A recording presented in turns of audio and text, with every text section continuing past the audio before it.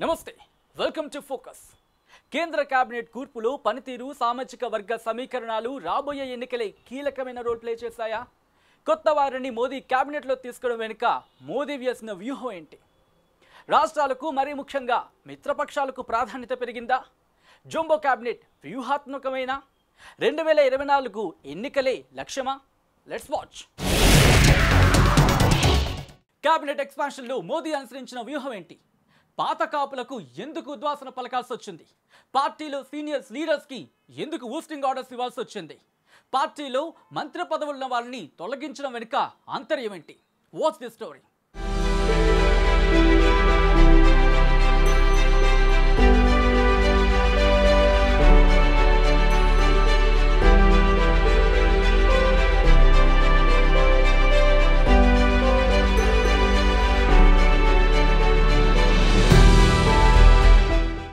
ప్రధానమంత్రి నరేంద్ర మోదీ కేంద్ర మంత్రివర్గాన్ని భారీగా ప్రక్షాళన చేశారు. ఇదివరకున్న యాభై మూడు మంది మంత్రుల నుంచి పన్నెండు మందికి ఉద్వాసన పలికారు. ఏడుగురికి పదోన్నతి కల్పించారు. కొత్తగా ముప్పై ఆరు మందిని కొలువులోకి తీసుకున్నారు. దీంతో మొత్తం మంత్రుల సంఖ్య డెబ్బై ఏడుకు చేరింది. ప్రధానమంత్రిగా వరుసగా రెండోసారి బాధ్యతలు చేపట్టిన ఆయన రెండు వేల పంతొమ్మిది మే ముప్పై ఒకటిన యాభై ఏడు మంది మంత్రులతో కేబినెట్ ఏర్పాటు చేశారు. రాజీనామాలు మరణాల కారణంగా ఆ సంఖ్య యాభై మూడుకి తగ్గిపోయింది.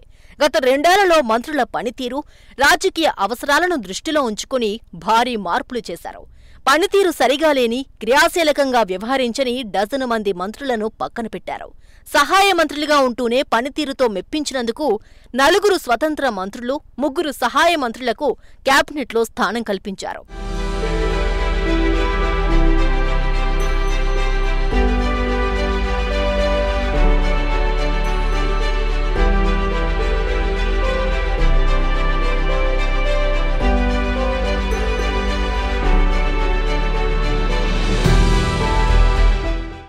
అయితే ఎన్డీఏ తొలి మలీ ప్రభుత్వాల్లో ఇప్పటిదాకా కీలక బాధ్యతలు పోషిస్తూ వచ్చిన రవిశంకర్ ప్రసాద్ ప్రకాష్ జవదేకర్ హర్షవర్ధలను తప్పించడం చర్చనీయాంశమైంది. వీరిని తప్పించడానికి ప్రధాన కారణం మళ్ళీ అధికార ప్రతినిధులుగా పంపటానికా లేదంటే వారి పనితీరులో కనిపించిన లోపమా అన్నది చర్చనీయాంశంగా మారింది. రవిశంకర్ ప్రసాద్కు ఉద్వాసన పలకడానికి ఇటీవల తలెత్తిన ట్విట్టర్ వివాదమే ప్రధాన కారణమన్నది ఒక వాదన వినిపిస్తోంది. ట్విట్టర్తో పాటు ఇతర సామాజిక మాధ్యమాల నియంత్రణలో ప్రభుత్వ అసలు ఉద్దేశమేంటన్న విషయాన్ని ప్రజలకు అర్థమయ్యేలా చెప్పకుండా తన వ్యక్తిగత మేధో సంపత్తిని ప్రదర్శించేలా మాట్లాడి అంతర్జాతీయంగా భారత్కు నష్టం చేసేలా వ్యవహరించారన్నది ఆయనపై ఉన్న విమర్శ. ట్విట్టర్ ప్రభుత్వం మధ్య జరుగుతున్న ఘర్షణ కారణంగా భారత ప్రభుత్వం మీడియాను నియంత్రిస్తోందన్న ప్రచారం అంతర్జాతీయ సమాజంలో జరుగుతోంది.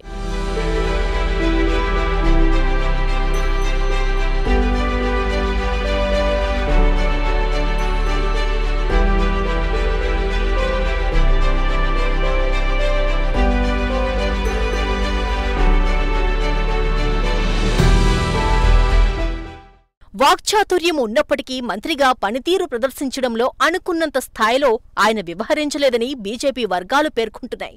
అయితే వచ్చే ఏడాది ఏడు ముఖ్యమైన రాష్ట్రాలకు అసెంబ్లీ ఎన్నికలు జరగనున్న నేపథ్యంలో పార్టీ వ్యవహారాలు చూసే బాధ్యతలు పార్టీ వాదనను బలంగా వినిపించే పనిని ప్రసాద్కు అప్పగించాలనే ఉద్దేశం కూడా మంత్రివర్గం నుంచి తప్పించడానికి కారణమని కూడా రాజకీయ విశ్లేషకులు అంచనా వేస్తున్నారు. ఇక వైద్య ఆరోగ్య శాఖ మంత్రి హర్షవర్ధన్ను తప్పించడానికి ప్రధాన కారణం దేశంలో కోవిడ్ వ్యవహారంలో పూర్తిగా విఫలం కావడమేనన్న అభిప్రాయం వ్యక్తమవుతోంది. ఆయన క్రియాశీలకంగా లేకపోవడం వల్లే సమస్య చేయి దాటే పరిస్థితి వచ్చిందని ముఖ్యంగా ఢిల్లీలో తలెత్తిన ఆక్సిజన్ కొరత పార్టీని దెబ్బతీస్తుందని అందుకు ఆయన మూల్యం చెల్లించుకోవాల్సొచ్చిందని బీజేపీ వర్గాలు చెబుతున్నాయి.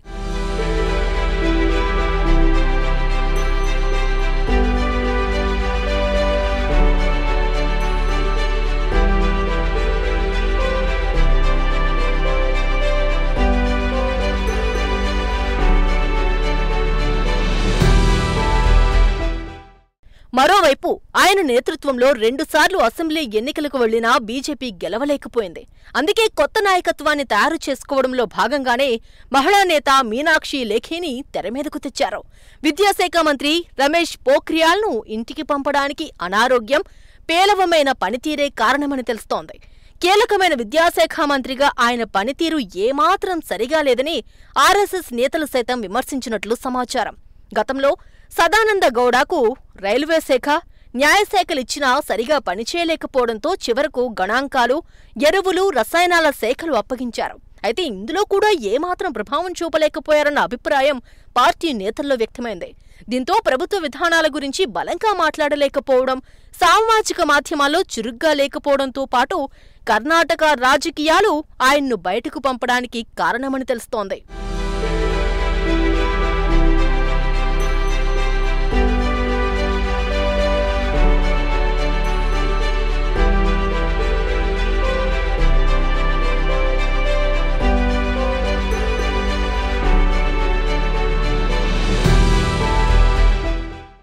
కేబినెట్లో ఉద్వాసనకు సంబంధించి కారణం ఏంటి?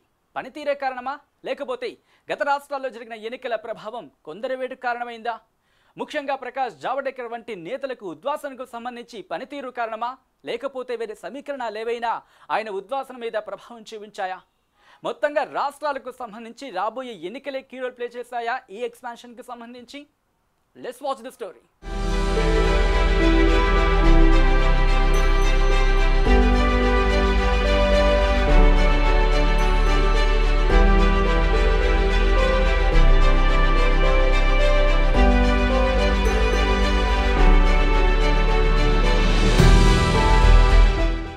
ఉత్తరప్రదేశ్లోని ఓబీసీ వర్గానికి చెందిన సంతోష్ కుమార్ గంగ్వార్ కార్మిక శాఖను స్వతంత్ర హోదాలో నిర్వహిస్తున్న ఎక్కడా క్రియాశీలకంగా కనిపించిన దాఖలాలు లేవు. దేశంలో నిరుద్యోగం పెరిగిపోతుందని ప్రతిపక్షాలు గగ్గోలు పెడుతున్నా ఆ వాదనలు బలంగా తిప్పికొట్టే ప్రయత్నం ఏనాడూ చేయలేదు. ఏడోసారి లోక్సభకు ప్రాతినిధ్యం వహిస్తున్న ఆయనకు రాజకీయంగా సుదీర్ఘ అనుభవం ఉన్నప్పటికీ ఇప్పటి పరిస్థితులకు తగ్గట్టు ముందుకు పోలేకపోతున్నారు. ఇదే ఆయన ఉద్వాసనకు ప్రధాన కారణంగా కనిపిస్తుంది. ఇక బెంగాల్కు చెందిన బాబుల్ సుప్రియ దేబశ్రీ చౌదరీలు గత అసెంబ్లీ ఎన్నికల్లో పార్టీని సమర్థవంతంగా నడిపించలేకపోయారని అందుకే వారికి ఉద్వాసన పలికారని బీజేపీ వర్గాలు చెబుతున్నాయి. కేంద్ర పర్యావరణ అటవీశాఖ సహాయ మంత్రి బాబుల్ సుప్రియా అక్కడ ఎమ్మెల్యేగా పోటీ చేసి ఓడిపోయారు. మహిళా శిశు అభివృద్ధి శాఖ సహాయ మంత్రి దేవశ్రీ చౌదరి సొంత జిల్లాల్లోనూ బీజేపీ ఏమాత్రం ప్రభావం చూపలేకపోయింది.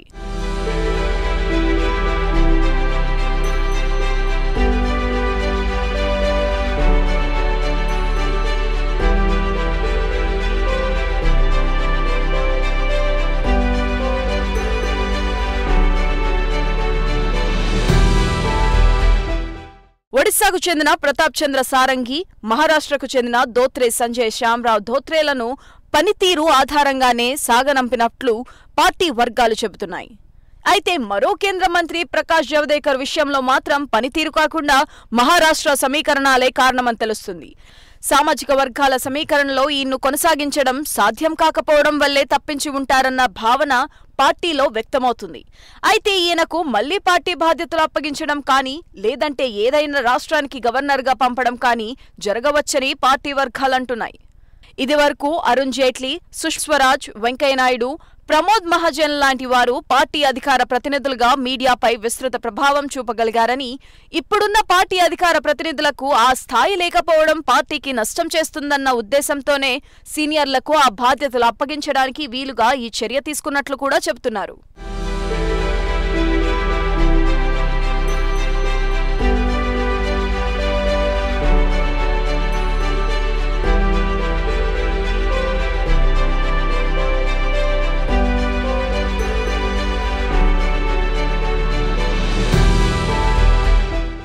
కేంద్ర మంత్రివర్గ విస్తరణలో యూపీ గుజరాత్కు అత్యధిక వాటా దక్కింది. నలభై మూడు మంది కొత్త మంత్రుల్లో ఉత్తరప్రదేశ్ నుంచి ఏడుగురు గుజరాత్ నుంచి ఐదుగురు ఉన్నారు. ఉత్తరప్రదేశ్లో కొత్తగా ఏడుగురిని తీసుకున్నా ఎవరికీ కేబినెట్ హోదా ఇవ్వలేదు. యూపీ అసెంబ్లీ ఎన్నికలను దృష్టిలో ఉంచుకుని ఆ ప్రాంతంలోని అన్ని సామాజిక వర్గాలకు అవకాశం కల్పించినట్లు తెలుస్తుంది. వచ్చే ఏడాది ఉత్తరప్రదేశ్ ఉత్తరాఖండ్ మణిపూర్ గోవా పంజాబ్ ఎన్నికలు జరగనున్న నేపథ్యంలో గోవా మినహాయించి మిగిలిన రాష్ట్రాలకు కొత్త కూర్పులో స్థానమిచ్చారు. అయితే బీహార్ మాజీ ఉప ముఖ్యమంత్రి సునీల్ కుమార్కు మోదీ కొత్త జట్టులో స్థానం లభించలేదు. బీహార్ నుంచి కొత్తగా నలుగురిని మంత్రివర్గంలోకి తీసుకున్నారు. వారిలో ముగ్గురు మిత్రపక్షాలకు చెందిన నేతలున్నారు. మాజీ ఐఏఎస్ అధికారి ప్రస్తుతం విద్యుత్ శాఖను స్వతంత్ర హోదాలో నిర్వహిస్తున్న ఆర్కే సింగ్కు మాత్రం పదోన్నత కల్పించి కేబినెట్ హోదా ఇచ్చారు.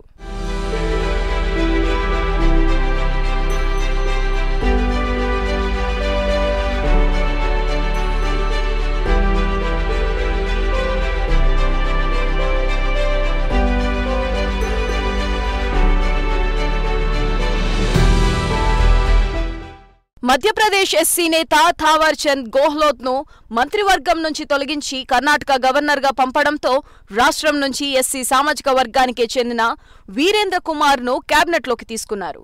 కాంగ్రెస్ ఎమ్మెల్యేలను బీజేపీ వైపు మళ్ళించి ఆ రాష్ట్రంలో కాంగ్రెస్ సర్కార్ కూలిపోయి బీజేపీ ప్రభుత్వం ఏర్పాటు చేయడంలో కీలక పాత్ర వహించిన జ్యోతిరాదిత్య సింధియాకు మంత్రివర్గంలో చోటు కల్పించారు. ఉత్తరప్రదేశ్లో కొత్తగా ఏడుగురిని తీసుకోగా వీరిలో ఆరుగురు బీజేపీ సభ్యులు కాగా మరొకరు పక్షమైన అప్నాదల్ ఎంపీ అనుప్రియా పటేళ్ళకు చోటు దక్కింది. అసెంబ్లీ ఎన్నికలను దృష్టిలో ఉంచుకుని అన్ని సామాజిక వర్గాలకు అన్ని ప్రాంతాలకు అవకాశం కల్పించారు. ఏడుగురులో ఒకరు అగ్రవర్ణాలకు చెందగా ఓబీసీ ఎస్సీల నుంచి చెరో ముగ్గురు ఉన్నారు. కార్మిక మంత్రి సంతోష్ గంగ్వార్ రాజీనామాతో అదే సామాజిక వర్గానికి చెందిన అనుప్రియ పటేల్కు అవకాశం లభించింది.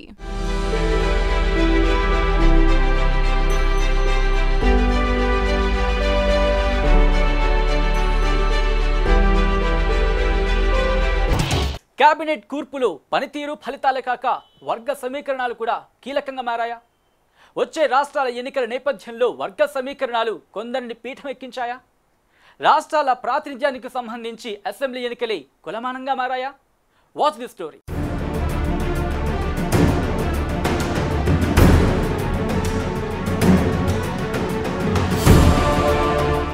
ఇక గుజరాత్లో పటేల్ ఓబీసీ ఎస్సీ ఎస్టీలందరికీ భాగస్వామ్యం ఉండేలా జాగ్రత్తలు తీసుకున్నారు.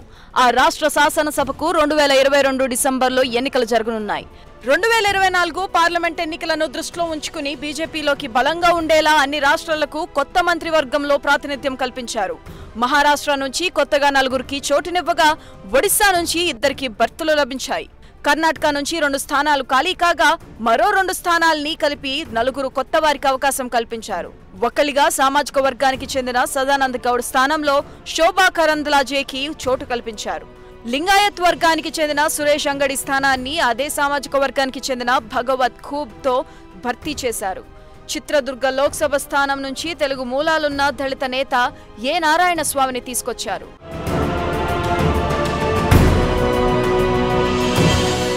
ఇక కేరళకు చెందిన రాజీవ్ చంద్రశేఖర్ ప్రస్తుతం రాజ్యసభకు కర్ణాటక నుంచి ప్రాతినిధ్యం వహిస్తున్నారు. రిపబ్లిక్ టీవీ వ్యవస్థాపకుడిగా వ్యాపారవేత్తగా ఈయనకు పేరుంది.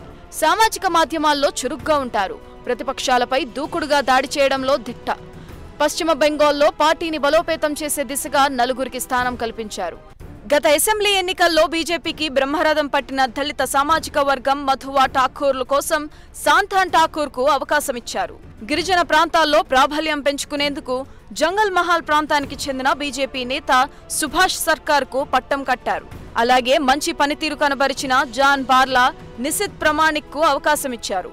ఈ ప్రాంతంలో రెండు వేల ఇరవై నాలుగు నాటికి పార్టీని మరింత బలోపేతం చేసి తృణములను నిలువరించే వ్యూహంతో ఒక్కసారి నలుగురికి అవకాశం ఇచ్చారు.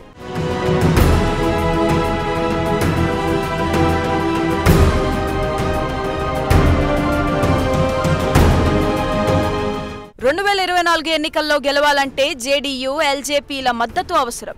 ఆ రాష్ట్రం నుంచి నలుగురికి మంత్రి పదవులు లభించగా అందులో ముగ్గురు మిత్రపక్ష సభ్యులకు స్థానం కల్పించారు. బీజేపీ నుంచి మాజీ ఐఏఎస్ రాజ్ కుమార్ సింగ్కు కేబినెట్ మంత్రిగా ప్రమోట్ చేశారు. మాజీ ముఖ్యమంత్రి నారాయణరావు రాణే మరాఠా సామాజిక వర్గానికి ప్రాతినిధ్యం వహిస్తూ కొంకణి ప్రాంతంలో బలమైన నేతగా ముద్ర వేసుకున్నారు. మరాఠాల్లో ఓబీసీ వర్గానికి చెందిన కపిల్ పాటిల్కు అవకాశం ఇచ్చారు. మిగిలిన ఇద్దరు ఎస్సీ సామాజిక వర్గానికి చెందినవారే. వృత్తిరీత్యా ఇద్దరు డాక్టర్లు కావడంతో చదువుకున్న వెనుకబడిన వర్గాలకి అవకాశం ఇవ్వాలని ఉద్దేశంతో పెద్దపీట వేసినట్లయింది.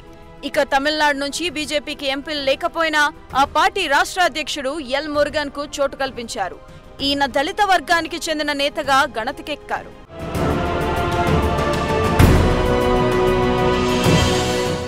అయితే హిమంత బిశ్వశర్మను సీఎం చేయడంతో సోనోవాల్ను కేంద్ర మంత్రివర్గంలోకి తీసుకున్నారు. ఉత్తరాఖండ్ బ్రాహ్మణ వర్గానికి చెందిన రమేష్ పొఖ్రియాల్కు ఉద్వాసన పలకడంతో అదే సామాజిక వర్గానికి చెందిన అజయ్ భట్కు అవకాశం ఇచ్చారు కేంద్ర హోంమంత్రి అమిత్ షాకు కుడిభుజంగా ఉన్న భూపేంద్ర యాదవ్ను తీసుకురావడానికి ప్రధాన కారణం ఓబీసీ నేతను పైకి తేవాలన్నదేనని పార్టీ వర్గాలు భావిస్తున్నాయి.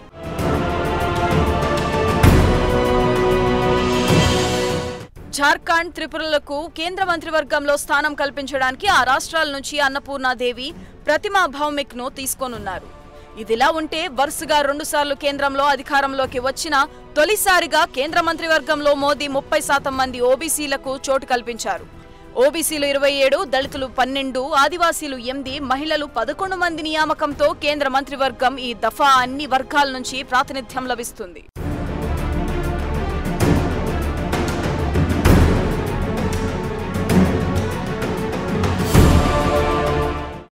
వర్గ సమీకరణాలు పనితీరు అసెంబ్లీ ఎన్నికల ఆధారంగా సాగిన మోదీ కేబినెట్ కూర్పు కొత్త విధానానికి నాంది పలికిందా?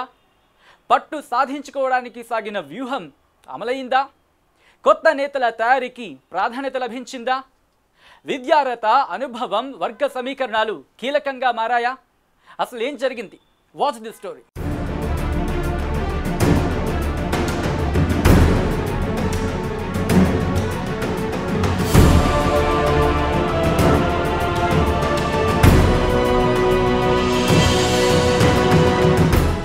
మోదీ తాజా కూర్పును కొత్త సామాజిక విధానపరమైన మార్పుగా విశ్లేషకులు అభివర్ణిస్తున్నారు. పార్టీ అన్ని వర్గాలకు దగ్గరయ్యేందుకు దోహదం చేస్తుందని అభిప్రాయపడుతున్నారు. వచ్చే ఏడాది ఎన్నికలు రాబోయే ఉత్తరప్రదేశ్ సహా వివిధ రాష్ట్రాల్లో ఇటీవలే గణనీయంగా సీట్లు సాధించిన బెంగాల్లో పట్టు పెంచుకునేందుకు ఈ సమీకరణాలు ఉపయోగపడతాయని భావిస్తున్నారు. రెండో దఫా అధికారంలోకి వచ్చాక మోదీ పాలన తీరుపై విమర్శలు చెలరేగుతున్నాయి. కరోనా వేళ వివిధ శాఖల మధ్య సమన్వయ లోపంపై పార్టీలోనూ అంతర్గతంగా అసంతృప్తి వెలువవుతుంది. సీనియర్లకే కీలక శాఖలు అప్పగించినా పనితీరు సరిగ్గా లేక ఆ శాఖల్లో వివాదాలతో ప్రభుత్వ ప్రతిష్ట దిగజారుతుంది. దీంతో సీనియర్లను సైతం పక్కన పెట్టారు. తద్వారా పని చేయకుంటే సీనియర్లైనా వేటు తప్పదని స్పష్టం చేసినట్లయింది. యువతరానికి విద్యార్థులకు మాజీ బ్యూరోక్రాట్లకు మహిళలకు పెద్దపీట వేస్తూ రూపొందించినట్లు విశ్లేషకులు చెబుతున్నారు.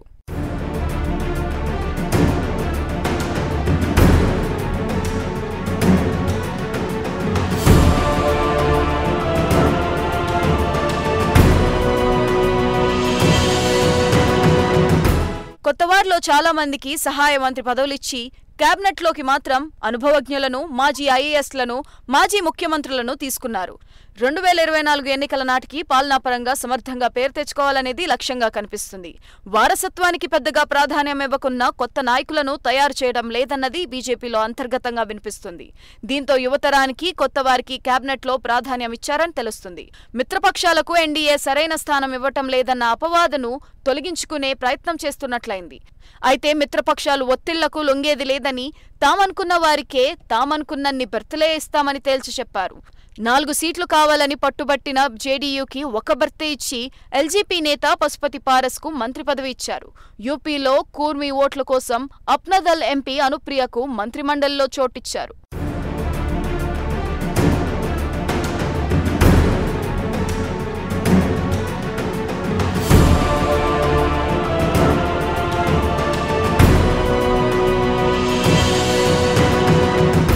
అయితే ఈ దఫా కేబినెట్ పునర్వ్యవస్థీకరణలో మోడీ తెలుగు రాష్ట్రాలకు మొండిచేయ చూపినట్లేనని విశ్లేషకులు వ్యాఖ్యానిస్తున్నారు.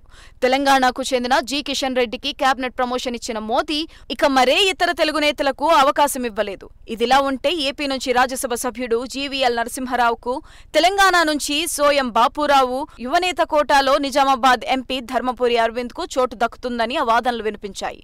కనీసం ఒక్కరికన్నా అవకాశం కల్పిస్తారని వార్తలు వెల్లువెత్తాయి. అయితే ఒక్కరికి ఛాన్స్ ఇవ్వకపోవడంతో పార్టీ పెద్దలు మల్లగుల్లాలు పడుతున్నారు. దీనిపై రెండు తెలుగు రాష్ట్రాల్లోనూ పెద్ద చర్చ నడుస్తుంది. రెండు వేల ఇరవై మూడులో తెలంగాణకు అసెంబ్లీ ఎన్నికలు రానున్న దృష్ట్యా మంత్రి పదవులు వస్తాయని నేతలు తెగ ఆశలు పెంచుకున్నారు. వీరి ఆశలపై నీళ్ళు చల్లేలా మోదీ తెలుగు రాష్ట్రాల నుంచి ఒక్కరికే ప్రాతినిధ్యం ఇవ్వడంపై చర్చలు సాగుతున్నాయి.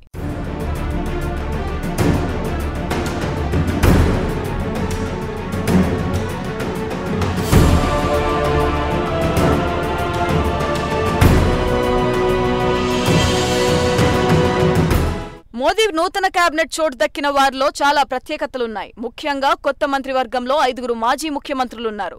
పంతొమ్మిది మంది మాజీ రాష్ట్ర మంత్రులు ముప్పై తొమ్మిది మంది మాజీ ఎమ్మెల్యేలు ఇరవై మూడు మంది సీనియర్ ఎంపీలు ఉన్నారు వీరిలో పదమూడు మంది డాక్టర్లు ఐదుగురు ఇంజనీర్లు ఏడుగురు సివిల్ సర్వెంట్లు ఉన్నారు. ఉత్తరప్రదేశ్ సహా వచ్చే ఏడాది జరిగే అసెంబ్లీ ఎన్నికలపై కన్నేయటం ఈ రెండేళ్ళలో వివిధ కారణాలతో తలెత్తిన అసంతృప్తిని అపవాదుల్ని తొలగించుకోవటం రెండు వేల ఇరవై నాలుగు సార్వత్రిక ఎన్నికల నాటికి సరికొత్త రూపురేఖలతో పార్టీ పరంగా పాలనాపరంగా పూర్తిగా సిద్ధం కావడమే లక్ష్యంగా కేబినెట్ విస్తరణ జరిగిందని విశ్లేషకులు అంచనా వేస్తున్నారు.